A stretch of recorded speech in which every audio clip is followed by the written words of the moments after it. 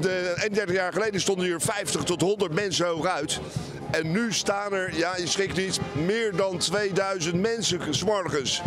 Het is dus wel wat gebeurd. Dus ik kijk er elk jaar weer naar uit. Regen of wind, maakt niet uit. Ik ben er.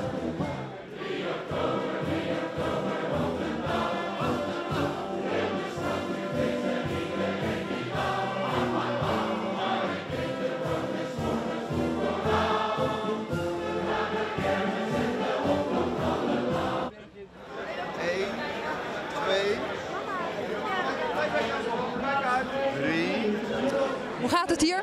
Ja, het gaat fantastisch. Het is een geweldig jaar. Lekker druk. En eh, ja, dus voor ons is het altijd genieten. Het is een beetje lastig dat je ook 2 oktober hebt. En dat je dan om 7 uur s morgens. Maar ja, als je die mensen ziet, dan eh, word je vanzelf weer vrolijk. Alles is binnen voor de hele buurt. En eh, de buurvrouw en eh, tantes, ooms, eh, voor iedereen. Ja. Het was mijn regenjas vanochtend en er zitten nu eh, tien eh, broodjes in. Hoeveel haringen heb je? Ik denk 10. Ja, 10. Allemaal voor jezelf? Nee hoor, dat gaat, eh, dat gaat zij allemaal opeten. Hoeveel haringen deel je nou uit op een dag?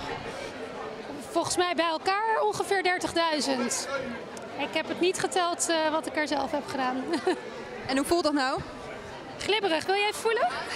Maar kijk nou, die kleuren, die, die emoties van de mensen, die, rimpels. Emoties? Dat kan je toch prachtig vastleggen. Wat vind je van de optocht?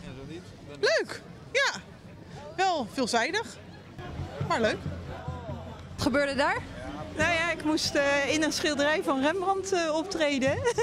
En hoe ging het? ben ik helemaal geel nu? Nee hoor, ziet er heel goed uit. Ze hebben je goed geschilderd. Oh, dankjewel. Nee, was leuk.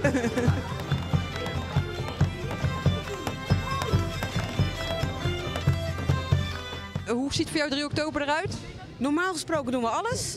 Ook de reveille en eh, eh, koraal en dat soort dingen. Maar dat hebben we dit jaar een keertje hebben we het een beetje rustig aangedaan. We zijn begonnen met de haring. Want nog steeds is vader niet thuis,